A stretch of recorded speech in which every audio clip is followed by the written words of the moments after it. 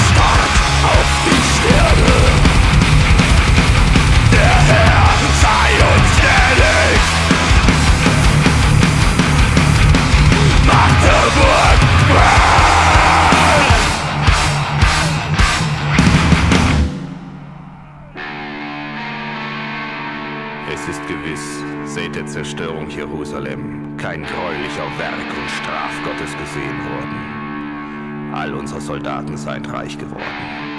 Gott mit uns